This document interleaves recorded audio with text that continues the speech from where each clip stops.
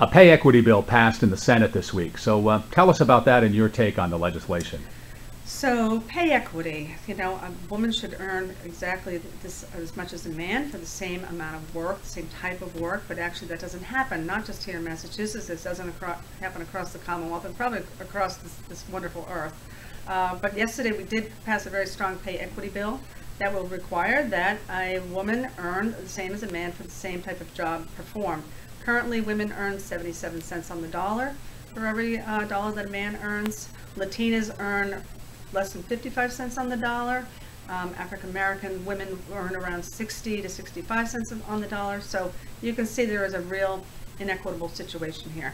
Uh, it passed unanimously in the Senate from all of our colleagues, men and women alike.